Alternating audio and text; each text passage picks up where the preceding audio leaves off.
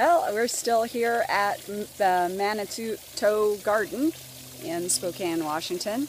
And now I'm at the Duncan Garden, which is a really beautiful, impressive for the United States, especially uh, formal garden. Uh, I've seen gardens like this only in front of uh, European castles. It's uh, quite amazing. So uh, looks like it needs a little bit longer to grow out before it's at its full splendor, but it's still looking pretty darn good.